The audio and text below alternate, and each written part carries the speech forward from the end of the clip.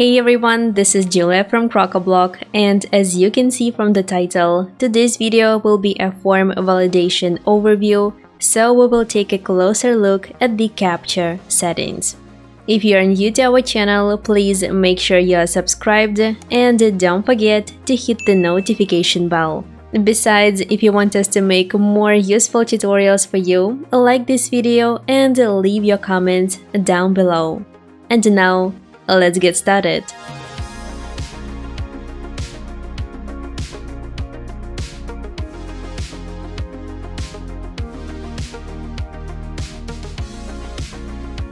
So, a WordPress form captcha is a method of verification via a picture.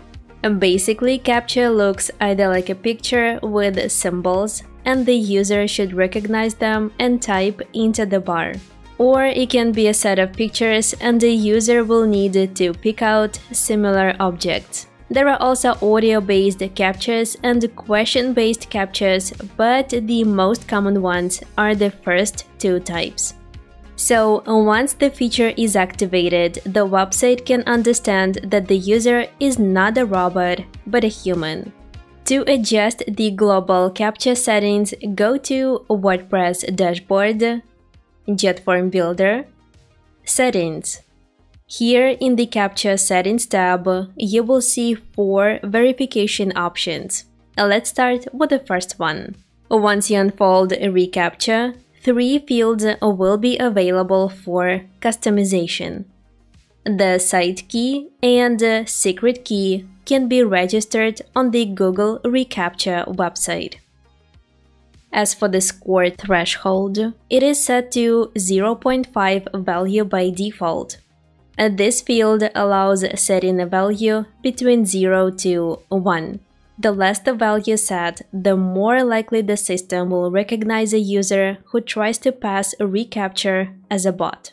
For instance, the 0.3 option will make the process of solving the captcha harder while 0.7 makes it much easier. Once adjusted, settings should be saved by pressing the corresponding button. The next one is H Captcha.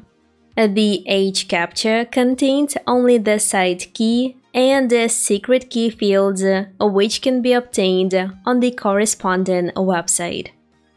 Friendly CAPTCHA the site key and the secret key of the friendly captcha can be generated on this website.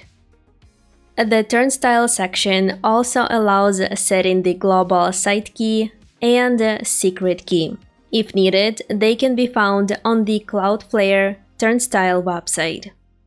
The great thing about the JetForm Builder plugin is that the captcha settings can also be adjusted directly in the newly added form during the customization.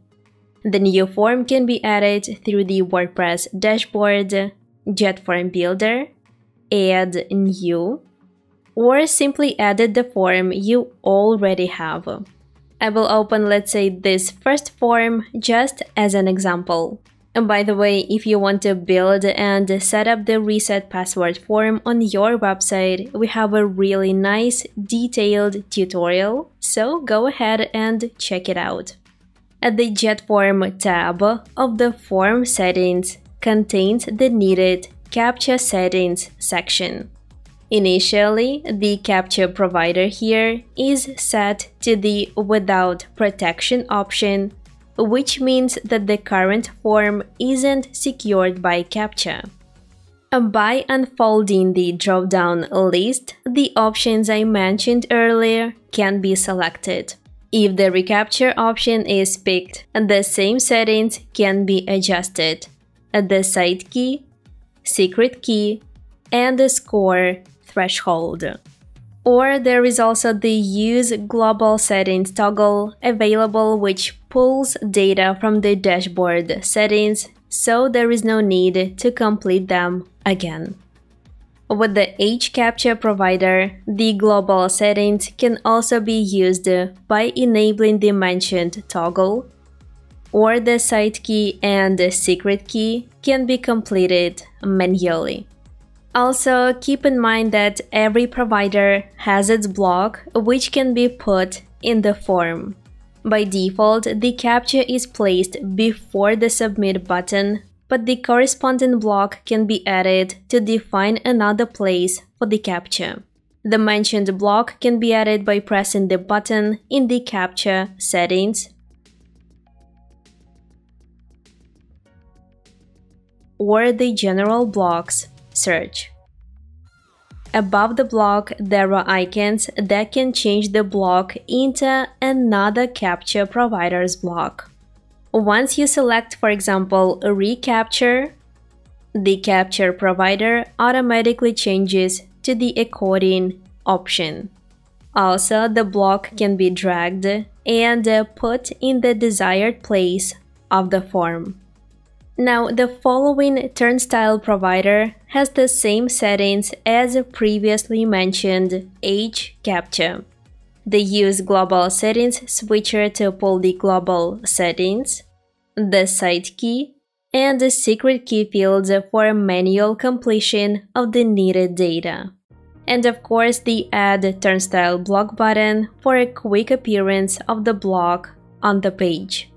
The friendly captcha option also covers the mentioned settings. Among them are the Use Global Settings, the Site Key and Secret Key, and Add Friendly Captcha Block button.